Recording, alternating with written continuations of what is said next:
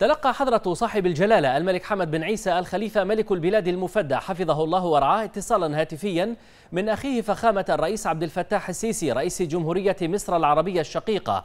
هنأ خلاله فخامة الرئيس السيسي جلالة الملك المفدى بإعلان إقامة علاقات دبلوماسية بين مملكة البحرين ودولة إسرائيل.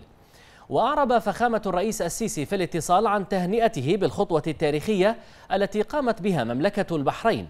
والتي من شأنها أن تدفع جهود عملية السلام وتفتح أفاق الاستقرار في منطقة الشرق الأوسط.